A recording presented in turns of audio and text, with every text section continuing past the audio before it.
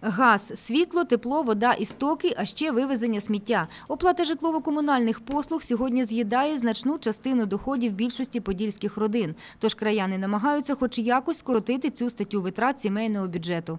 Допомагає держава, надає пільги, нараховує субсидії та компенсації. Щодо пільг, то із 196 мільйонів гривень, які торік одержали жителі Хмельниччини, 140 мільйонів були спрямовані саме на оплату житлово-комунальних послуг. За законодавством до пільговиків належать ті краяни, які мають певний статус.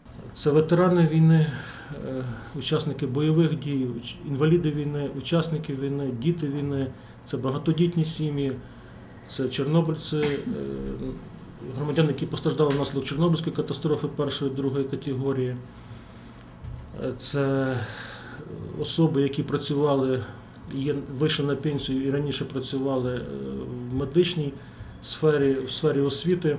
Житловими субсидіями в краї користуються 45 тисяч родин, порівняно з попередніми роками на 8 тисяч сімей більше. Протягом минулого року на забезпечення цих субсидій в нашій області держава витратила 66 мільйонів гривень. А ще запровадила так звані соціальні норми, які, кажуть соціальні працівники, дають можливість економити гроші.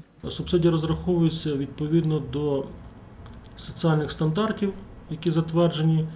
І при цьому, якщо домогосподарство економно витрачає ресурси е, або заощаджує ці послуги, відповідно до яких ми надаємо субсидію, вони в минул... в подальшому в- розрахункових періодах можуть не сплачувати свій обов'язковий відсоток платежу, а ці кошти, які будуть е, знаходитись на їх рахунку, зекономлені кошти субсидії, можна е, буде їх використовувати як е, щомісячні платежі за ці чи інші послуги комунальні.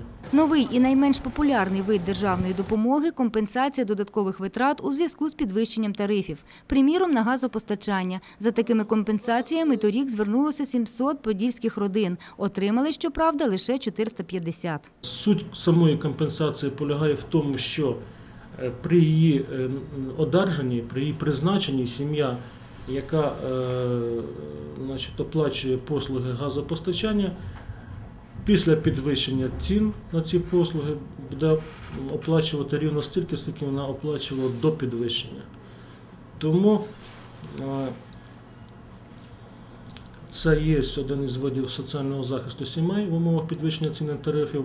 Ну, на жаль, така статистика, що лише 450 сім'ям звернулося 700, 457 призначено.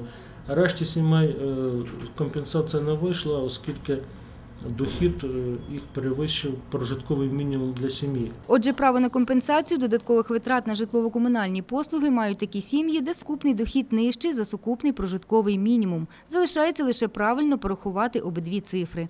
Анна Михайловська, Ілля Васильєв для інформаційного випуску.